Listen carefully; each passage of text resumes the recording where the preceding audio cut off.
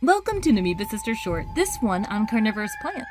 When you think about flowering plants, which are angiosperms, it's probably likely you think of this. Maybe you don't think about this though, a carnivorous plant. Still an angiosperm, believe it or not, carnivorous plants can flower, but many often go to lengths, pun intended, to keep their flowers separated. They need pollinators to be alive to pollinate, whereas other parts of the plant might be digesting insects.